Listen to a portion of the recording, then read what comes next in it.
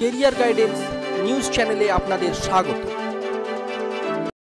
আজকে আমরা একটি বিশেষ প্রতিবেদন নিয়ে এসেছি। যে প্রতিবেদনের মধ্যে আমাদের আজকের বিষয় হলো, যদি ইন্টারভিউ এবং অ্যাপটিটিউড টেস্ট দিতে হয়, তাহলে নট ইনক্লুডেড প্রার্থীদের সামনে একটি বিরাট সুযোগ চলে আসবে।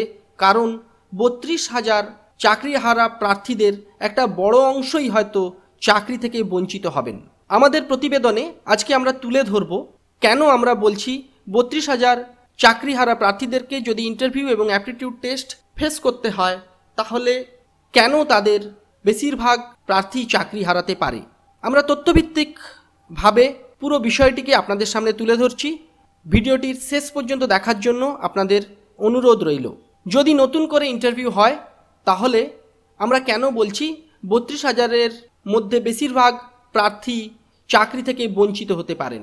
এর সবথেকে বড় কারণ হলো এই বত্রিশ হাজার চাকরিহারা প্রার্থী তাদের প্রশিক্ষণ সম্পূর্ণ করেছিলেন চাকরি পাওয়ার পরে।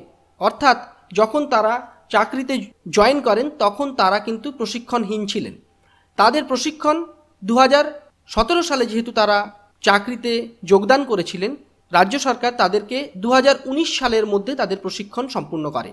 কিন্তু যারা নট ইনক্লুডেড ছিলেন, যারা সেই সময়ে চাকরি পাননি।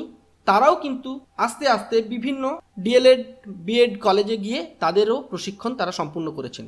কিন্তু এই নট ইনক্লুডেড প্রার্থীদের মধ্যে একটা বড় অংশই লকডাউন পিরিয়ডে দু হাজার কুড়ি দু হাজার একুশ সালে তাদের প্রশিক্ষণ সম্পূর্ণ করেন এবং সেখানে তাদের একটা বড় অংশেরই প্রাপ্ত নম্বর ছিল নাইনটি ফাইভ থেকে নাইনটি সিক্স পারসেন্ট যেটা অন্যান্য বছরের প্রশিক্ষণ প্রাপ্তরা যেখানে ষাট থেকে সত্তর শতাংশ নম্বর পেয়েছিলেন।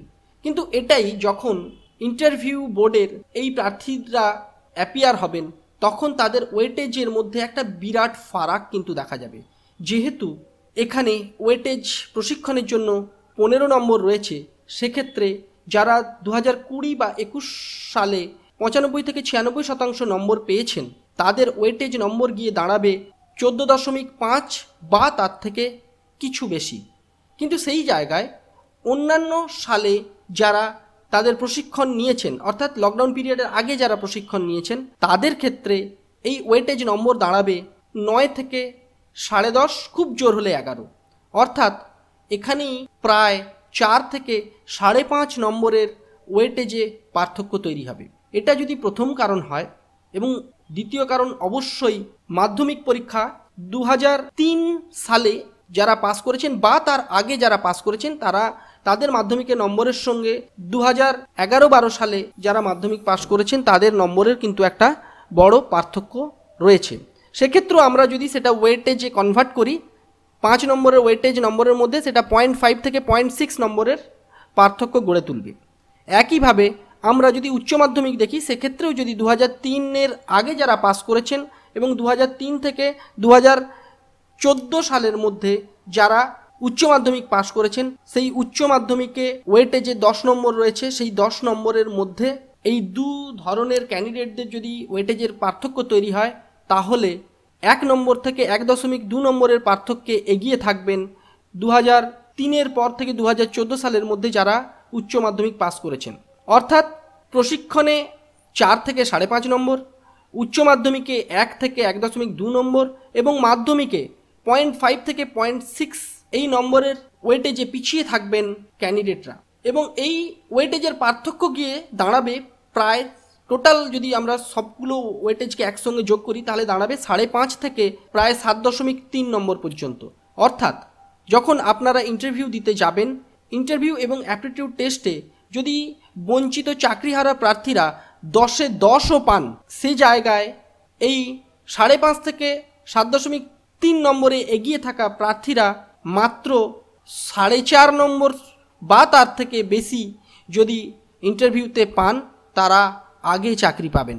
এই অ্যাডভান্টেজটা কিন্তু তৈরি হয়েছে লকডাউনের সময়ের প্রশিক্ষণ থেকে। লকডাউনের প্রশিক্ষণে যে ভুরি ভুরি নম্বর এসেছে, তার ফলেই কিন্তু এই পার্থক্য বেশি করে প্রকট হলো। অর্থাৎ যদি কোনোভাবে ইন্টারভিউ হয়, তাহলে নট ইনক্লুডেড প্রার্থীদের সামনে খুলে গেল একটি বিরাট সুযোগ।